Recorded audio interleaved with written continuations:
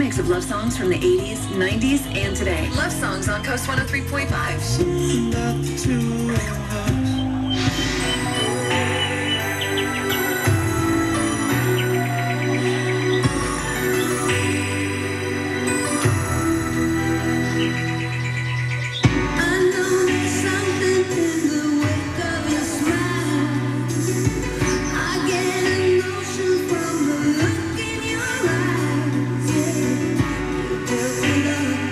for that love.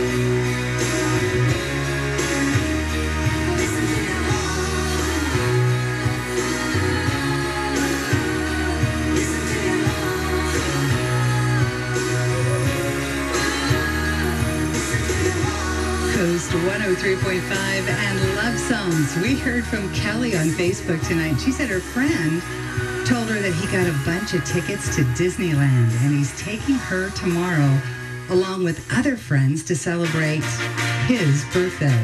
They leave tomorrow morning. So Kelly, happy birthday to your friend. Have a great time. This one's for him. High hopes on KOST 103.5.